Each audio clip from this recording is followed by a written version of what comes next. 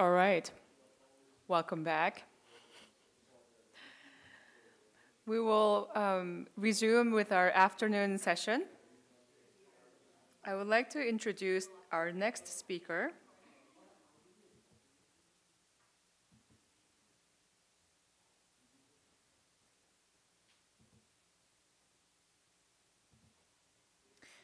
Colleen Darland. Colleen is pursuing a Master of Arts in Theology at St. John's University. In addition to her studies, Colleen works for the Diocese of Davenport as their safe environment and logistics coordinator. She is also the organist at Sacred Heart Cathedral, Davenport, Iowa. Colleen received a Bachelor of Arts degree magna cum, uh, with, uh, with magna cum laude in church music from Wartburg College, Waverly, Iowa. In, two, in 2019, she wrote a series of articles for the Diocese of Davenport's Liturgy Office newsletter on music in the different seasons of the liturgical year. Please join me in welcoming Colleen.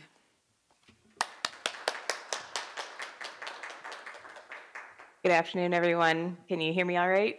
Good? Thumbs up? Thank you. Um, so, my topic today is a historical survey of the development of marriage rituals in the United States, more particularly, um, uh, an exploration of the place of pastoral rituals as part of the, the larger ritual of the order of celebrating matrimony. So there are many cultural rituals that take place as, as part of getting married family traditions, religious rites, and any number of symbolic actions are often points of contention between the two parties approaching marriage. These symbols can carry rich meaning for the individual families, and in some cases, can be an opportunity for creating new rituals as a new family unit is established. Some rituals bear a long history and evolution through various centuries and cultural contexts, while others are more recent developments still seeking ritual meaning. Here we will survey the evolution of key ritual symbols in the rite of marriage, including the giving of arras and the use of the lasso or veil, uh, as well as a survey of the unity candle, which has not yet been given status in the Catholic order for celebrating matrimony hereafter. I'll just say OCM, it's faster. These symbols will be compared in their history, cultural context, meaning, and the weight given to each symbol as part of the rite. The blessing and giving of arras and the blessing and placing of the lasso or veil are both optional rituals to be added to the marriage rite when pastoral need requires. These traditions are best known to be most popular for Mexican and Filipino families in the United States, as these traditions hold great meaning, um, consulting their respective cultural heritages. These rituals have been included in the Spanish translation of the OCM in the United States since 2010, and with the most re- recent revision of the English translation, are now included as an optional rite here in the English. The placement of the in the second edition of the OCM was actually determined by the Congregation for Divine Worship and the Discipline of the Sacraments out of Rome, and its inclusion as an optional rite is different from what the original uh, in the original proposition by the U.S. bishops. Uh, USCCB had approved its inclusion in an appendix of the second edition, uh, but Rome approved it to be included within the rite itself. Speculation could be made as to the reasoning for this placement, but it's likely that Rome altered the proposed location in order to align the English translation with the previous Spanish translation in 2010, which includes the rites for the arras and the lasso or veil within the OCM itself, not in an appendix. The arras, especially, bears a long history in the church and has evolved throughout centuries and cultures to manifest in a variety of ways. One of the earliest references to the arras, which translates as pledge, comes in the fourth century by such writers as St. John Chrysostom from the Eastern tradition. The original symbol of this pledge was likely a ring, as the Byzantine tradition includes a ring being given and accompanied by a prayer recalling the betrothal of Isaac and Rebekah. The tradition, tradition developed in the West seems to be delayed by several centuries, rec- resurrecting in 11th century Spain.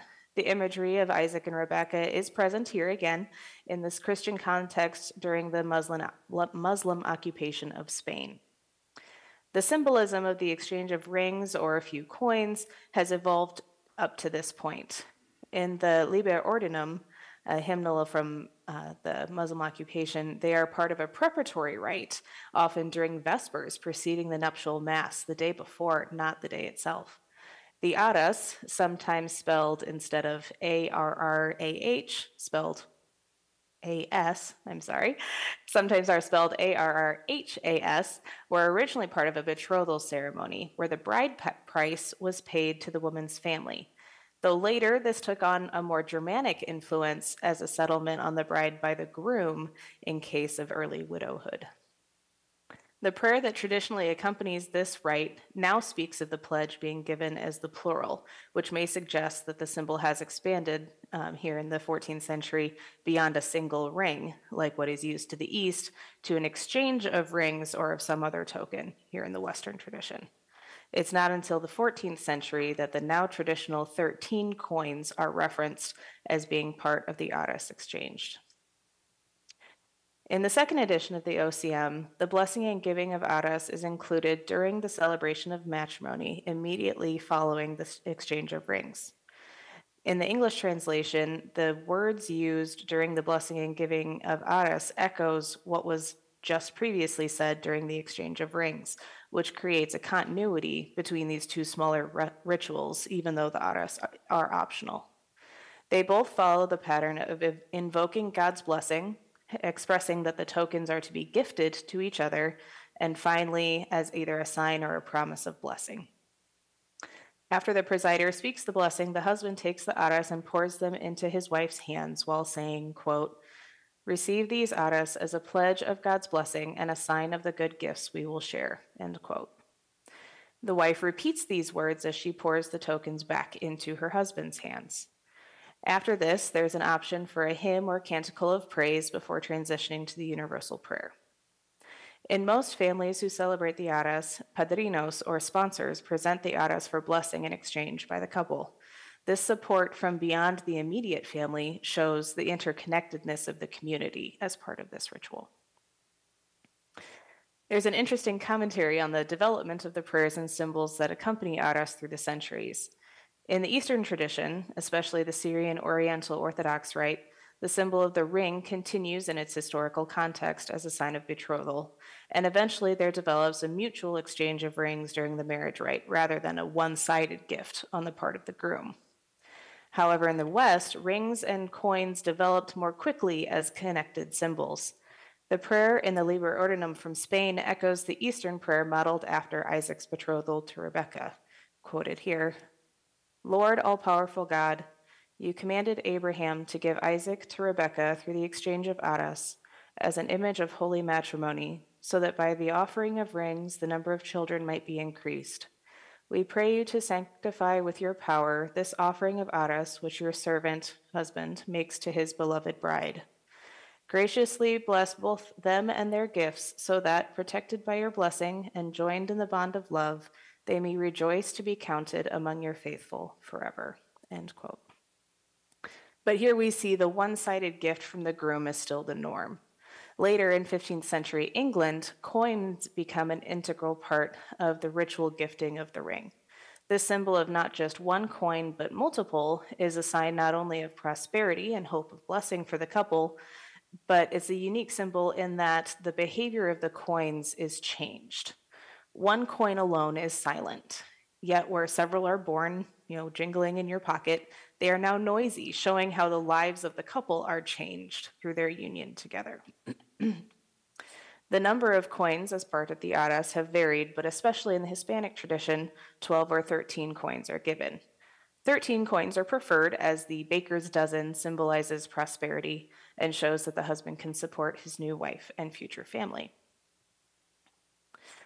A cultural change has developed between traditions in Mexico and those brought to the United States by migrants. Where the OCM for the United States has the wife pour the arras back into her husband's hands, in Mexico this is not done. Here in the United States, it seems a deeper mutuality has been infused into the marriage rituals, acknowledging that it is not solely the responsibility of the husband to provide for the family. There is also some discussion of connecting the blessings and prosperity hoped for by the exchange of arras with the element of service inherent in the sacrament of marriage. In the final blessing of the OCM, there is a direct petition that the couple, quote, be witnesses in the world to God's charity, so that the afflicted and needy who have known your kindness may one day receive you thankfully into the eternal dwelling of God, end quote. Exploring the potential shift in focus from simply asking blessings for the couple to the couple sharing their blessings with the wider community draws the couple from their focus on just each other to being an example of God's love to those around them. Now, the lasso or veil is a separate ritual that has a very similar history to the arras, but not as much evolution. In the Middle Ages, a large veil or canopy would be placed over the couple to show how they both are covered by God's blessing. In Visigothic rites, instead of a veil, a special cord is placed around the couple to symbolize their unity as they receive the nuptial blessing. Since then, this symbol has changed little, maintaining its design as a single cord, often in a figure eight design, to emulate the infinity symbol. In 15th century Britain, however, the veil was the preferred element held over the couple as they received the nuptial blessing. A deep connection between the lasso or veil seems to have been closely tied with the nuptial blessing throughout, but the implementation of the ritual varies. Depending on local custom, much is left to the discretion of the presider working with particular families. In some contexts, the symbol may be the bride's veil being pinned across the groom's shoulder so that they are both under its cover for the blessing. For others, the separate figure eight cord, sometimes in the form of a double rosary, may be placed by padrinos over the couple.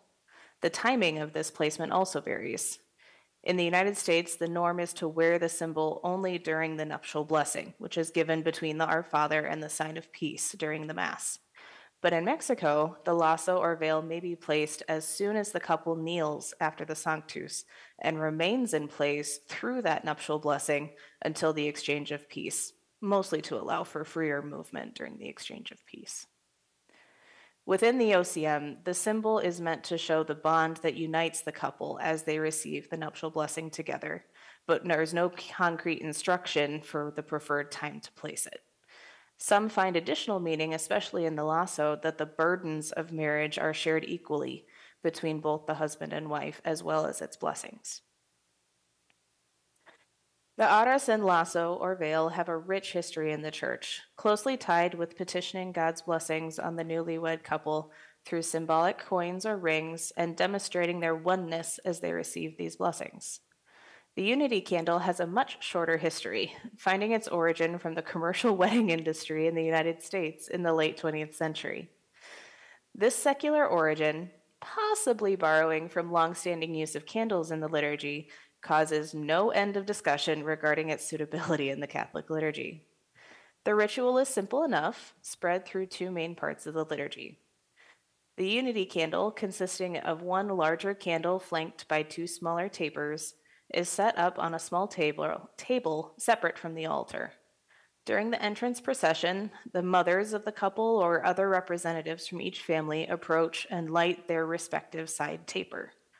Later in the liturgy, usually after the exchange of rings or after the universal prayer, the couple approaches the table and, each taking the taper representing their family of origin, together they light the center candle. At this point, there is some divergence in the ritual depending on the meaning the participants seek to convey, if indeed they give any thought to it at all. The first option is to extinguish the side tapers, symbolizing the new unified household created by the new husband and wife. The second option, more popular perhaps, is to return the lit tapers to their place, maintaining the individual identity of each party in the marriage. In this, the center candle shows their unity, while the tapers represent their individuality and the maintenance of their family connections. Many Christian denominations have accepted the unity candle and other rituals into the wedding ceremony and endeavored to bestow some sacred meaning to it.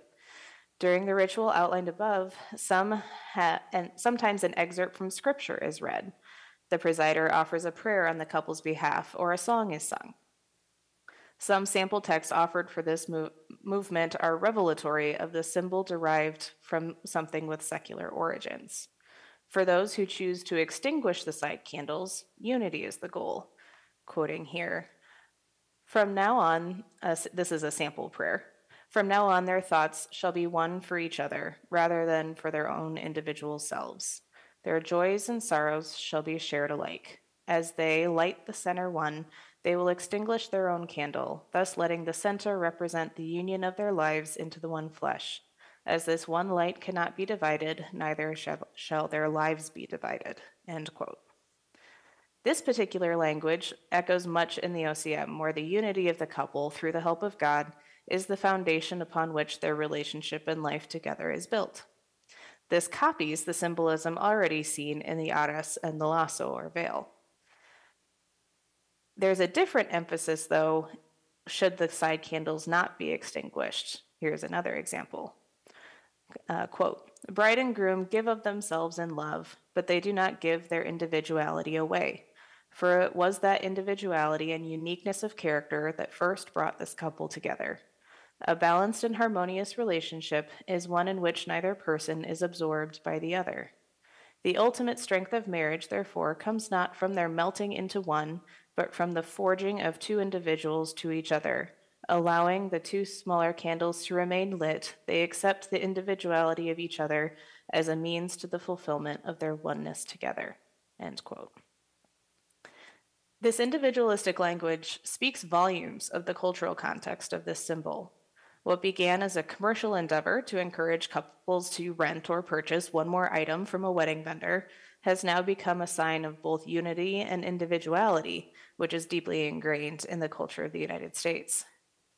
By keeping all three candles burning, the symbol that is demonstrated may become confused or conflated with too many meanings. From a rubrical perspective, the unity candle is not forbidden in the Catholic context. Its inclusion would fall under paragraph 29 of the introduction to the OCM, which allows for, quote, local customs which may be observed if appropriate, end quote. So it often falls to local tradition, the local ordinary, to determine the suitability of including that right. The unity candle is often placed after the exchange of rings, similar to where the arras are exchanged, where paragraph 68 of the OCM encourages congregational singing. There is often a disconnect between ritual and practice, as the lighting of the unity candle is most often accompanied by a soloist. While a soloist is not expressly forbidden, the rubrics clearly encourage congregational participation. There seems to be a desire to ground these ritual symbols within the context of the wider community to show that the couple does not exist in a vacuum, but are part of the people of God. The unity candle does not seem to have a firm place within the Catholic marriage rite. With so much subjectivity in how the symbol is expressed, a coherent meaning for the worshiping community is not readily found. In lieu of a liturgical context, an alternative place for the unity candle at the wedding reception has met with some pastoral success. Prepared by the Archdiocese of Newark, there exists a use for the unity candle as part of the table prayer for the reception.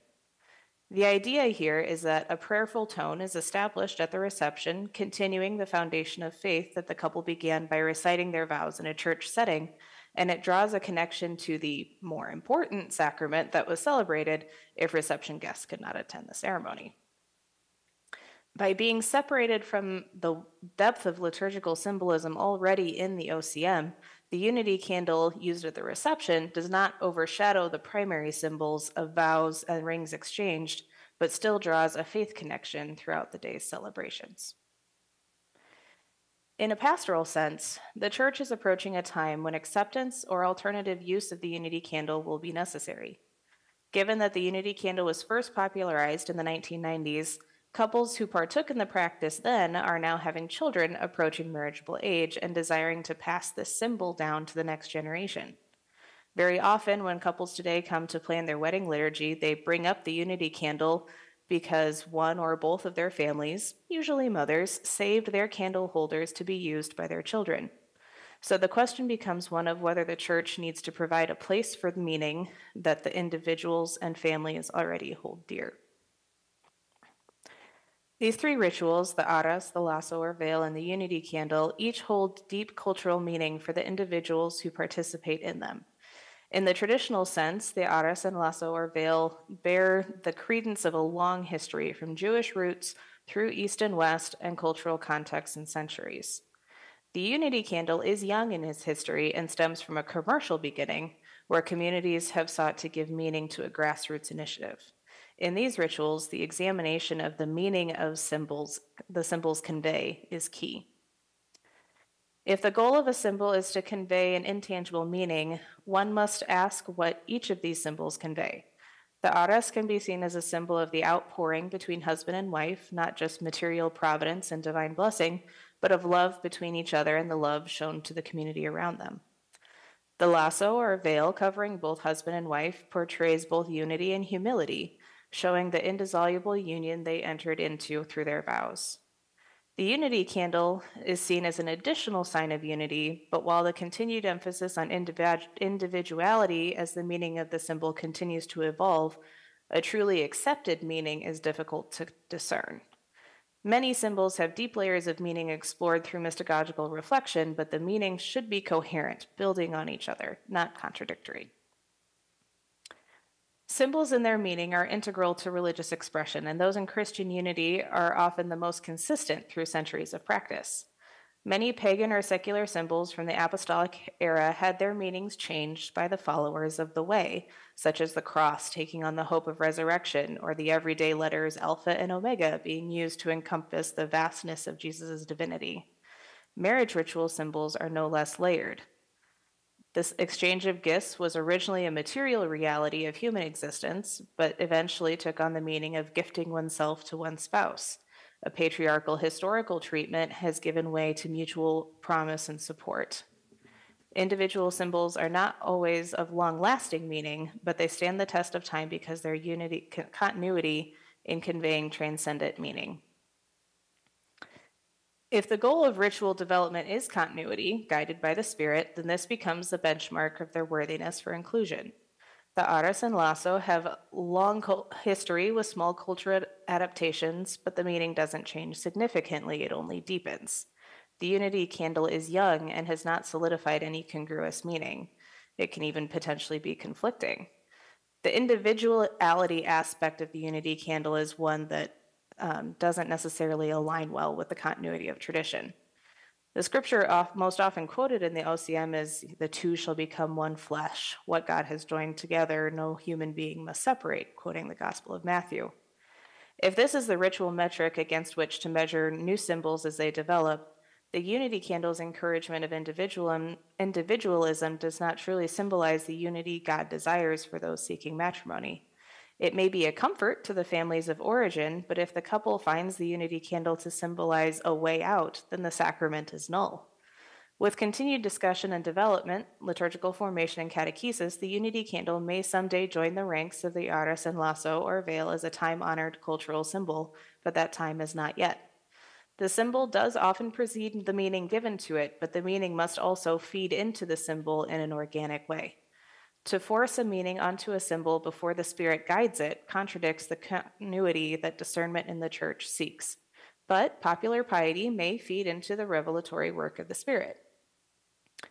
The unity candle may find symbolic value in the celebration outside the Mass itself, filling a certain level of grief that comes from leaving one's family of origin. But this grief, when one is properly formed, is nothing to the unity and blessing of marriage that is rooted in God's own divine life. Thank you.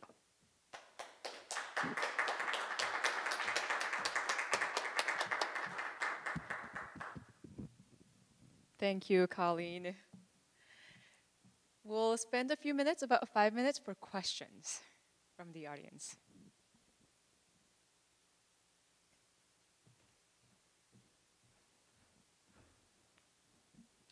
Thank you, Colleen. Very well done.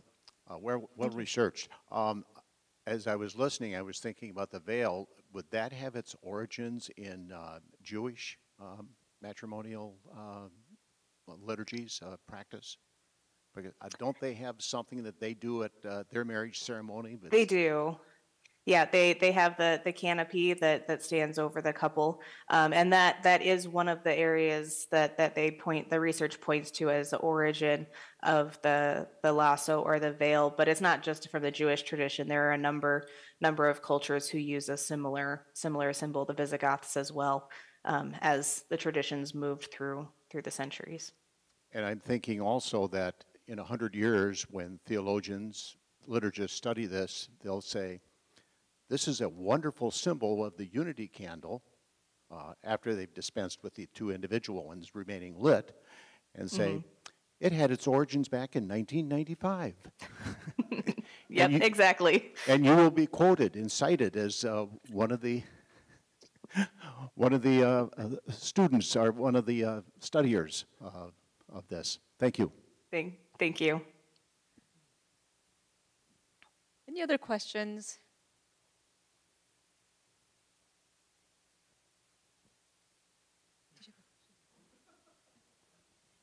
Hi, Colleen. That was wonderful. Um, Thank you. Um, oh, this this may seem like a little bit of a tangent, but I it since you're so knowledgeable about this, um, any thoughts on what the blessing of same-sex unions is like, or is going to be like for people? Is it, you know, just private in a, you know, a uh, pastor's office. Any thoughts about that? Oh, nothing like a loaded question. um, I I think there are different ways for rituals to develop that fit that fill a pastoral need. Um, as we've had recent direction from from Pope Francis to have to to meet people where they're at and to offer kind of a, a blessing of, of, of intercession for for that um, the the relationship, that friendship that is bound. Um, but there's still a, a clear ritual distinction. Um, you know, the the language is is one of blessing, not necessarily ritual at this point. It it is possible that that that will develop, and rituals continue to develop organically, whether they have the the status of formal liturgy or not um, to to fill that pastoral need. But I think there's a lot of opportunity for discussion and development that that will approach all the relationships that that we share within the human family.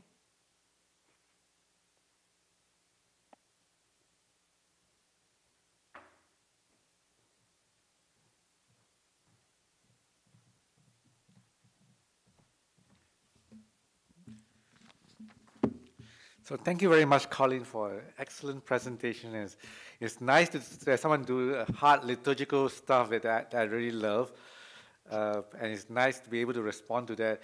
Your, your paper raises very important points, I think, in the pastoral setting, uh, because marriage, the, the ministers of the marriage ultimately is the couple, it's not the priest.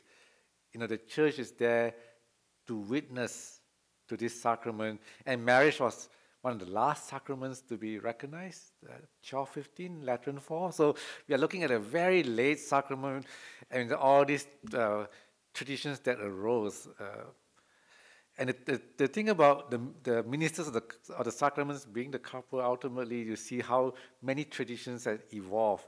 So what, if you look outside of this uh, exchange of rings, you can see you know, in many uh, contexts, there have always been a, a, rich plethora of symbols. So when I'm listening, you know, like if you look at the lasso or the arras, you know, in the St. Thomas Christian tradition, which is, uh, and now also part, whether it's both in the Syro-Malabar Catholic, Malankara, or even the Jacobites, uh, they have the manthrakodi. The manthrakodi is what a garment like a veil that is given by the husband to the bride, symbolizing that his pledge that he will always love her. He will always have her at the center of his life. You know, he will always treat her first. You know, it's some, somewhat similar and and and no matter how, whether even though it was even though Rome tried to suppress it, you know, in the in the Synod of Diamper and all those hey, when they were trying to Latinize, but now it's no longer, but it's there. And, and so the, the, the tali, the two the two most powerful symbols in Syro Malankara Catholic is the manthrakodi and the tali. The tali is, is the chain that is also given by the husband to the wife. Now, what are the point I want to raise, whether it's the arras or the lasso or the manthrakodi and the tali on the minu, is the fact that these are symbols that emerge organically from a community's understandings of symbols. Whereas the, or the point that, that we have to think about for the candle is, is something that is created commercially and marketed, you know, so the dynamics is very different.